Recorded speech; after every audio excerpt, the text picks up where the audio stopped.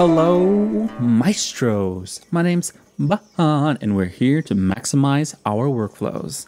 This episode, we'll be talking about the debugger. Now, in our previous class, 103 basic actions, I told you about the most important action, pause. But where do we put our pauses? Well, that's where the debugger comes in.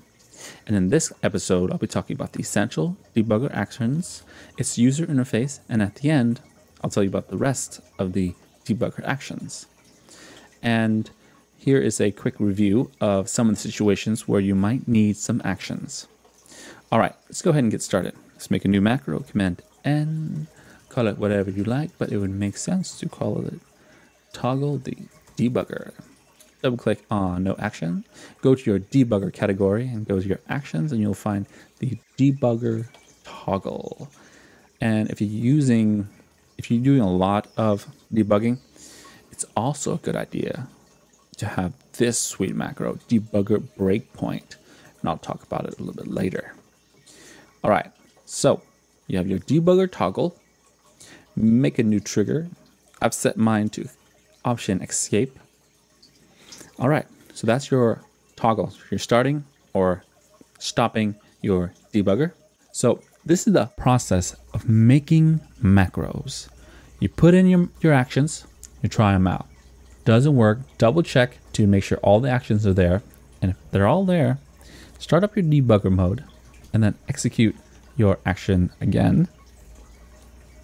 And then take your macro step by step through every action with the debugger.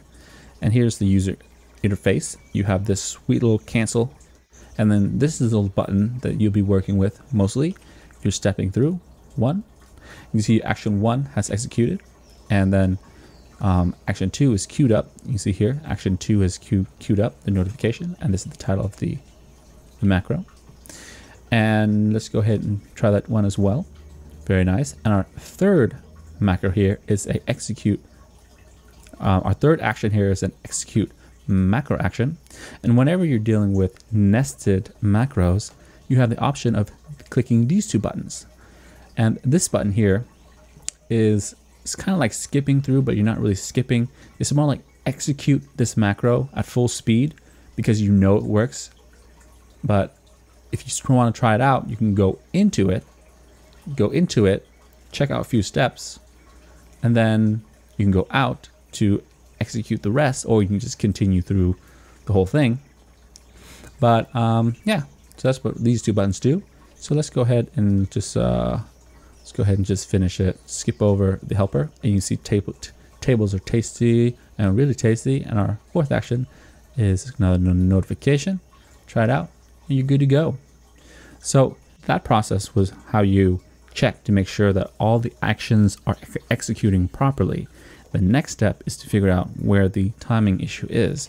And that is where you want to use our breakpoint.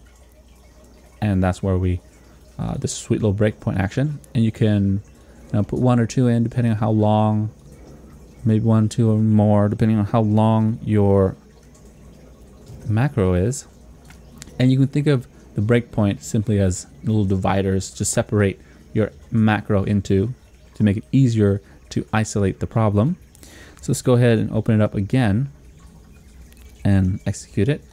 And this is where we want to hit this little button here and you'll play the first piece, which is our notification action. We'll play it.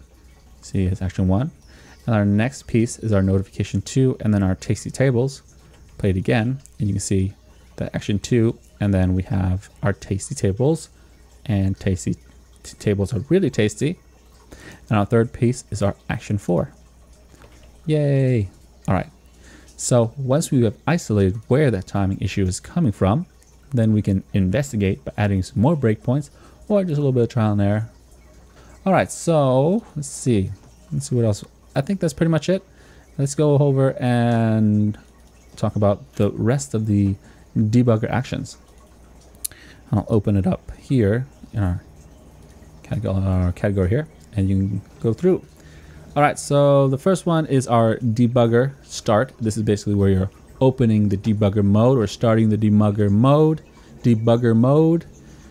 This is pretty much where you're starting the debugger.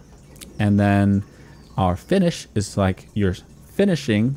We call it finish instead of close because it will finish or continue. It will execute the remaining macros that are paused and then close the debugger. And this is the this is the debugger toggle where it's a lot like it's just like the start and then finish. And then next we have the new macros pause or run.